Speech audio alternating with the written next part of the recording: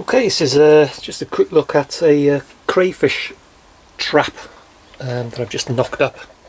Um, I have recently had written permission from the EA, Environment Agency, which you, you need in Britain to uh, trap crayfish.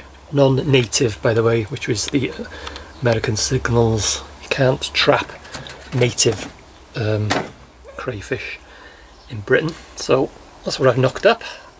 Uh, simple design. You can see by the size of my hand there, it's about 15 inches long um, by 6 inch by 6 inch.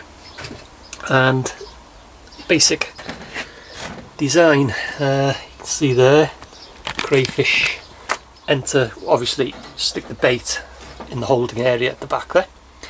The crayfish go up and then there's an opening at the top there which they go through to get at the bait. They drop down inside and that's it. They're trapped and to get them out um, just put the back door it's on a couple of these uh, zip ties.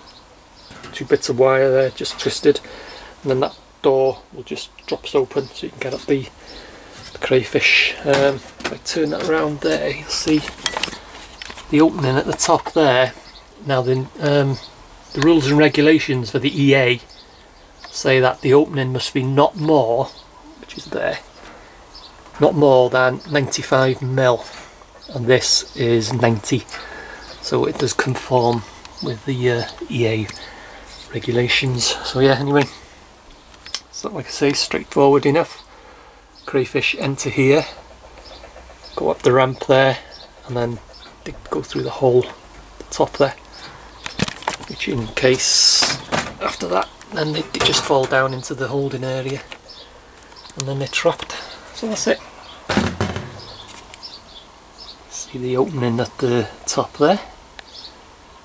Like I say it does conform with the their regulations.